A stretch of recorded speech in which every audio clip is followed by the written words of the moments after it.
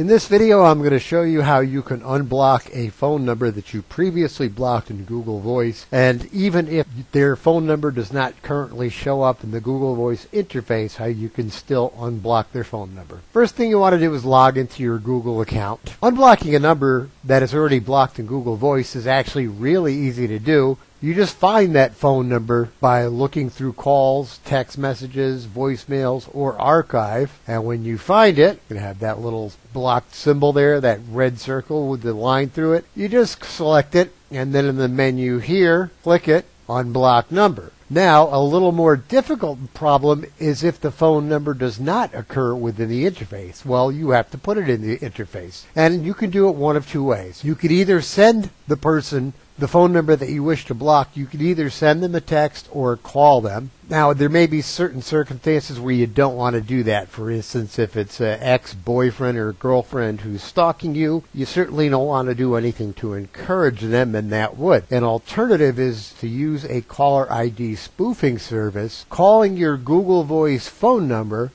making Google Voice think the phone number is the phone number you want to block, then that phone number will show up in the user interface and you can block it. And I'll show you what I mean. You use a call spoofing service like SpoofTel or My Phone Robot, and you enter the phone number you that is your Google Voice number there.